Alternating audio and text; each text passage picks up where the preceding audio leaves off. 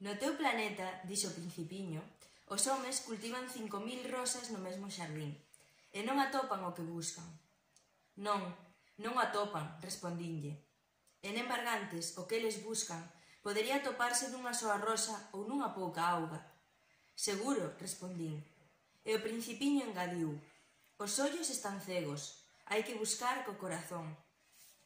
Noraboa por estas tres sesións do Tamén Len, desta magnífica actividade que o Tamén Len, e sobre todo noraboa a todos aqueles que o fan posible. Sonia, Fernando, eh, todos os persoeiros que foron pasando por ela, e fundamentalmente ao alumnado, xa que sen eles non sería posible.